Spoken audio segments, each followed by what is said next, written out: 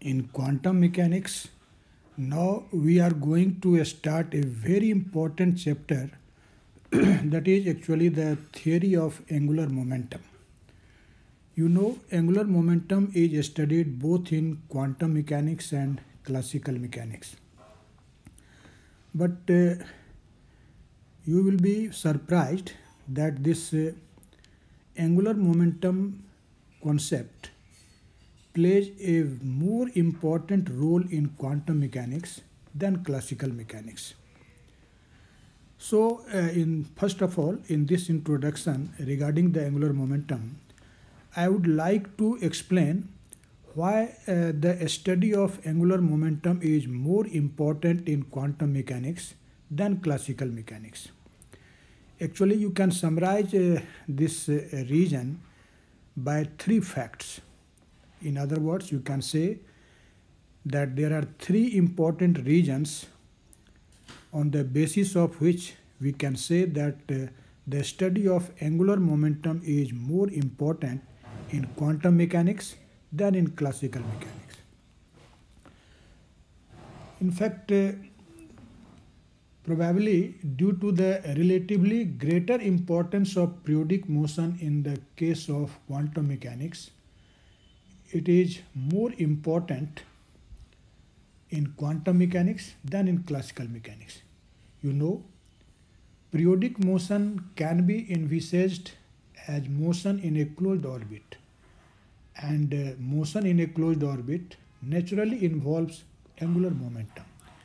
And in quantum mechanics we talk about the periodic motion at several places so you can say that the concept of angular momentum is very important in the study of quantum mechanics. In fact, uh, in quantum mechanics, angular momentum is not always associated with orbital motion. As you know, in classical mechanics, whenever we talk about angular momentum, definitely there is a particle which is in motion and uh, relative to that motion we define the angular momentum of the particle.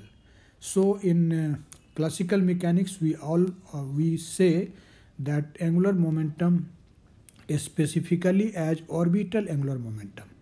But in quantum mechanics there also exists an intrinsic or spin angular momentum and you know the spin has no classical analog. So the field of study of angular momentum in quantum mechanics is more vivid than the classical mechanics.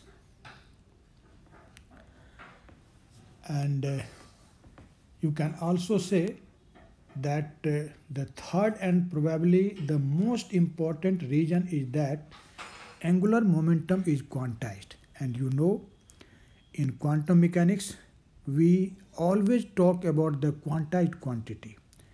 Quantization is the basic principle of quantum mechanics and in classical mechanics we do not find quantization uh, or in quantum mechanics you can say that angular momentum is not uh, quantized but while uh, we study the quantum mechanical concept, we always talk about the quantization of angular momentum. Although, you know, the linear momentum is not quantized, but angular momentum is quantized. And so, uh, due to these three reasons, we can easily say that the study of quantum mechanics is very, very important uh, the study of angular momentum, not uh, quantum mechanics, is very, very important in the study of quantum mechanics. You will show, uh, we will see actually that several problems will be solved by the concept of the study of angular momentum in quantum mechanics. Actually, while we have studied the commutator algebra in previous lectures, we have introduced you particularly orbital angular momentum operator, uh, particularly in Cartesian coordinate. So the just this will be just a repetition, but just uh, I am starting this chapter separately. So this will be just a repetition of some of the things which we have already discussed earlier. But for your convenience I will repeat those things again but in brief because the rigorous calculation in commutator algebra regarding the uh, orbital angular momentum operator its commutation relation I have already discussed. But for your convenience I am just repeating uh, those things here in very short. As you know in uh, as I have told you just now that in quantum mechanics we do not talk always about the orbital angular momentum but uh, we will see here after the concept of orbital angular momentum which is actually associated with motion we will also talk about uh, an angular momentum which has no relation with motion. And uh, that is an intrinsic property which is called spin angular momentum. Actually spin angular momentum is an intrinsic or internal property of the particle. For this the particle do not need to be in motion. And apart from these two concepts we will also see the generalized definition of uh, angular momentum in quantum mechanics. It means by the commutation relation which we will we will obtain actually for the orbital angular momentum those relations may be generalized and uh, on the basis of the commutation relations followed by the orbital angular momentum um, operator uh, particularly the components of orbital angular momentum we will define the angular momentum in generalized form. And that generalized form of the angular momentum operator is very very important in the study of quantum mechanics. But before that as I have told you I would like to explain first of all the orbital angular momentum operator. Uh, why uh, operator? You know in quantum mechanics we always uh, define an operator corresponding to an observable. And actually this classical quantity orbital angular momentum is an observ observable in quantum mechanics. So when you say orbital angular momentum uh, in quantum mechanics it means you are talking about the operator associated with this orbital angular momentum. And uh, after this brief introduction we will see its commutation relation which we have actually uh, uh, discussed in the earlier lectures. And on the basis of that commutation relation we will define the angular momentum in general form that is that we will obtain the generalized definition of the angular momentum operator so now let us start first of all to find the orbital angular momentum operator particularly in Cartesian coordinates. And after that, we will see these operators in spherical polar coordinates. And in fact, the orbital angular momentum in spherical polar coordinate is more important than the uh, than this operator in Cartesian coordinates because whenever you will try to find the eigenvalue and eigenfunction of this operator you will need the idea of the orbital angular momentum operator in spherical polar coordinates. But before that, I am just uh, going to uh, find the orbital angular momentum operator in Cartesian coordinate.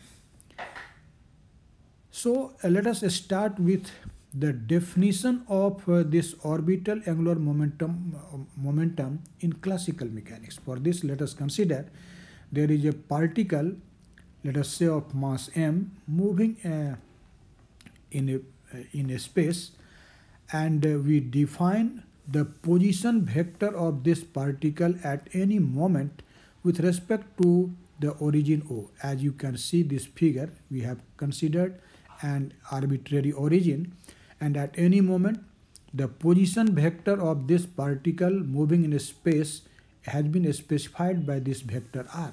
So r is the position vector of the particle in motion. And let us say that at that moment the linear momentum of the particle is equal to p as you can see in this figure. p is the linear momentum of the particle. Then you know the orbital angular momentum of the particle with respect to this origin O in classical mechanics is defined like this L equal to R cross P. It means uh, the vector product of position vector and linear momentum uh, vector is equal to the orbital angular momentum L. Now you know from the fourth and fifth postulate of quantum mechanics that if we know the expression for an observable in classical mechanics, we can easily find the operator equation from that. Actually, the postulate 4 and 5 of quantum mechanics give an idea how to find the operator from a classical equation for a for an observable. Actually for this we simply replace the dynamical variables by the corresponding operators. So if you want to find the operator corresponding to this orbital angular momentum vector L what you will do on the basis of postulate 4 and 5 we will simply replace this position vector r and momentum vector p by the corresponding operator. So in operator form, you can write uh, this equation 1 in this manner. You can see we can write in operator form in operator form equation 1 can be written as can be written as. You can write this like this. L hat equal to R hat cross P hat in fact, L hat is L hat, R hat and P hat are the corresponding operators operators corresponding to L, R and P. So this is the operator equation which we have obtained on the basis of uh, uh, postulate 4 and 5 of quantum mechanics. Now you know that uh, this uh, operator R hat, this is position vector operator or you can say position operator. This is actually written as x hat i in Cartesian coordinate plus y hat j j plus z hat k. Actually x hat, y hat and z hat are the position coordinate operators.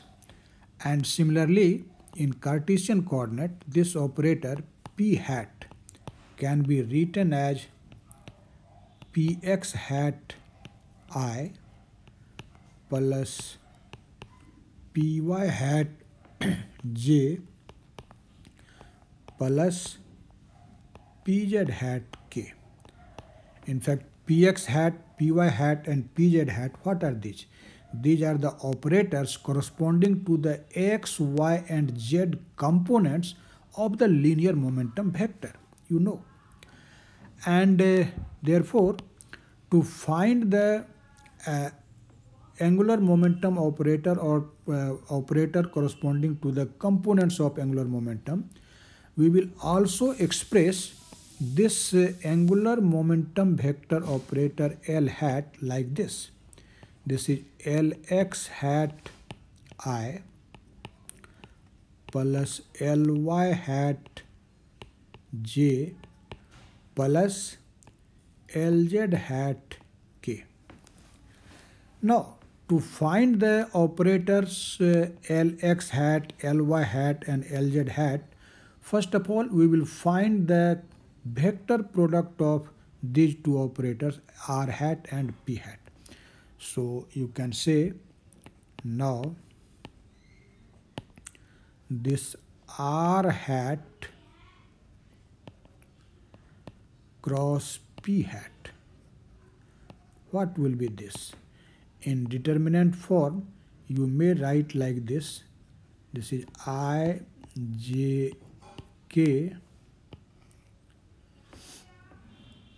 x hat y hat z hat.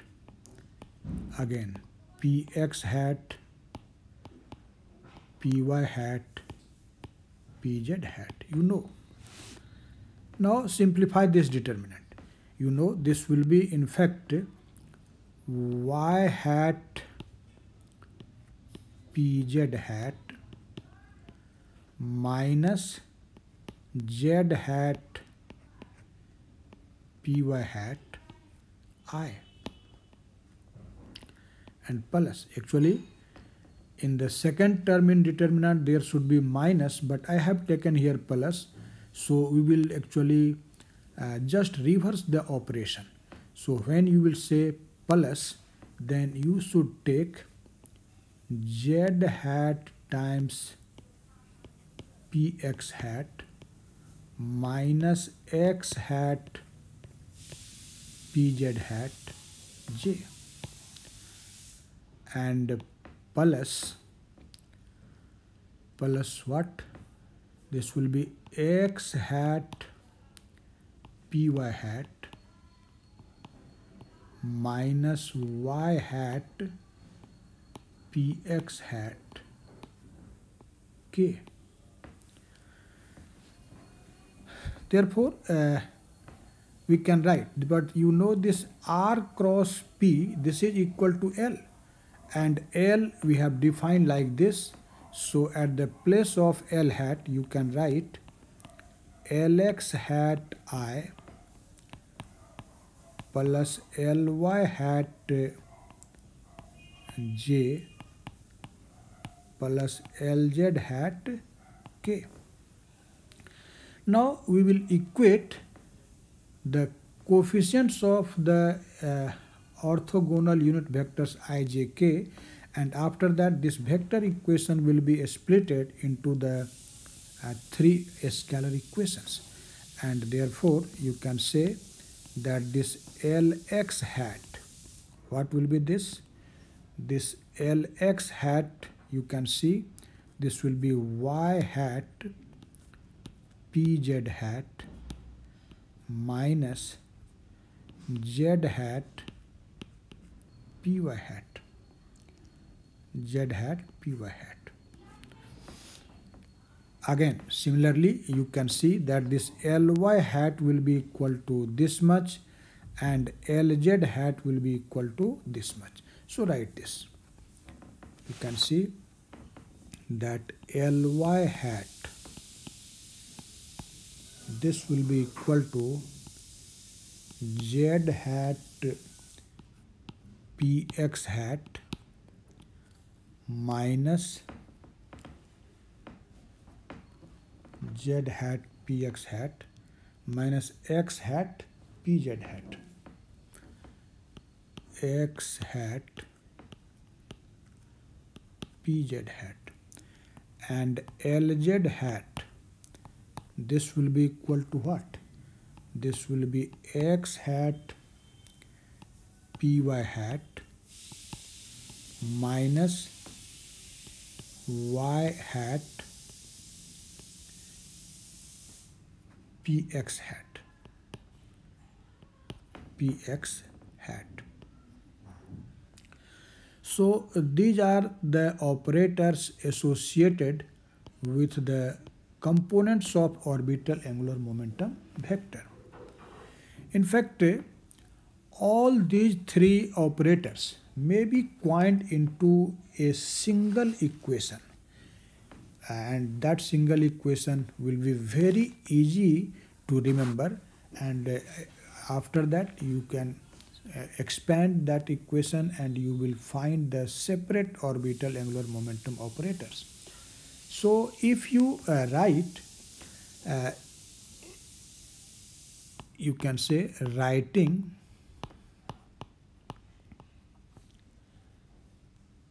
x equal to x equal to x1 x equal to x1 y equal to uh, x2 and z equal to x3 if we will write like this then in this condition equations in 2 may be written as in compact form we can write these three equations like this this will be l hat i equal to epsilon i j k x hat j and p hat.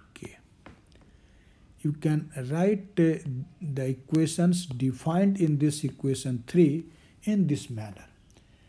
Actually, here uh, we actually uh, will sum by using the concept of Einstein's summation convention. In the lecture on tensor analysis, I have discussed Einstein's summation convention uh, in mathematical physics. So here actually the repeated index is to be summed over. So you can say where a repeated index a repeated index is to be summed over summed over it means uh, according to Einstein convention you know the index which is repeated for that we will actually sum up it. So you can see here that j and k are actually the repeated index but i is not a repeated index. So when we will actually expand this equation that will mean that we have actually a summation uh, with respect to j and k. So in fact here there is a summation over j and k because j and k are actually the repeated index. And here actually this uh, constant epsilon ijk what are its value? You can see here. So here actually epsilon ijk this may be plus 1 minus 1 and 0 but when it will be plus 1 when it is minus 1 and when it is 0 you can see. Actually this epsilon ijk this will be equal to plus 1 if i j k is an even permutation of the numbers 1 2 3 it means uh, when uh, these numbers will be in this order 1 2 3 or 2 3 then it will be plus 1 but if you write it like 1 3 2 then that will be odd permutation. Its value will be minus 1 and this is equal to minus 1 if if ijk is an odd permutation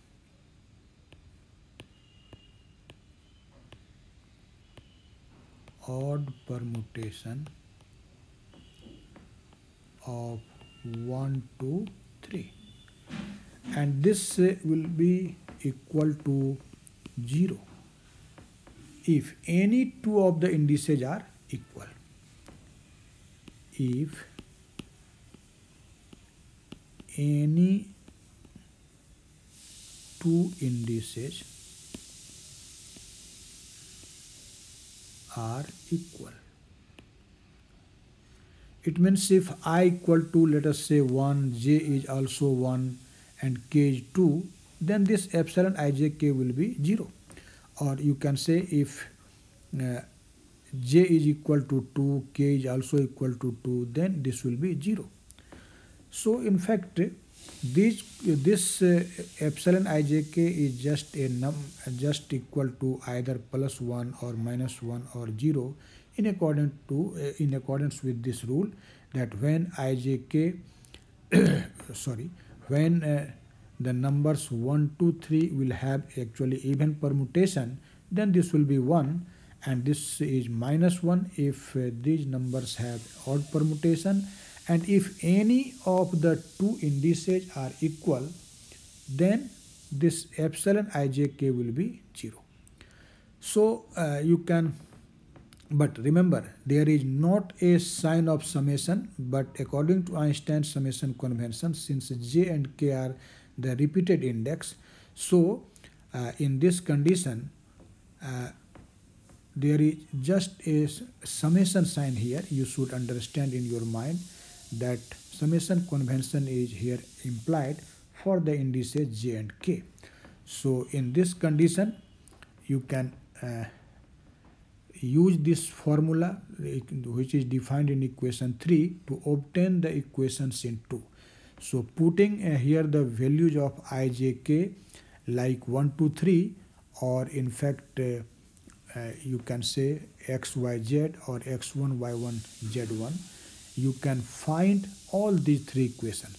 I am not uh, uh, just going to repeat these things but you should try to find the equation 2 uh, by the use of this equation 3 so in this equation 3 all the three operators have been defined by this single equation. So this is actually the orbital angular momentum operators in Cartesian coordinate. But uh, as you know uh, that these position operators as the position operator x hat means what? This is just uh, equal to multiplication by x.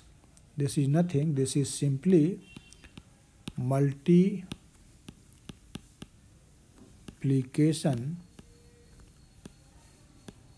by x. Similarly, y hat is simply multiplication by y and z hat is simply multiplication by z.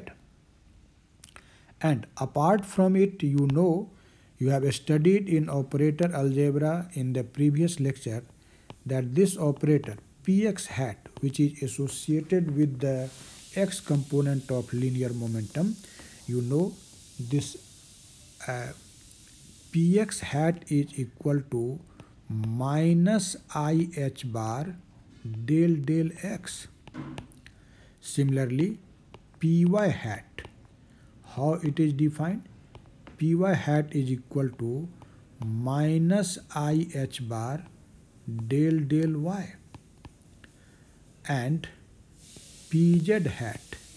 You know this pz hat is equal to minus ih bar del del z. So when we will use these operators in this equation number 2 then we will find the another form of the orbital angular momentum operators. And you can see uh, what will be uh, those operators we can see easily. So let us put these uh, results in uh, equation number 2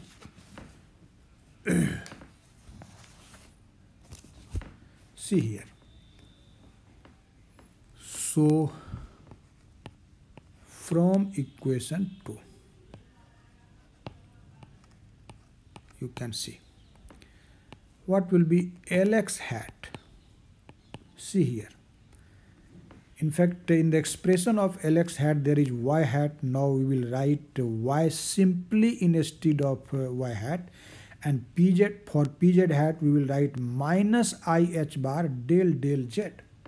Del del z. And similarly you will uh, substitute z for z hat and uh, minus ih bar del del y for this py hat.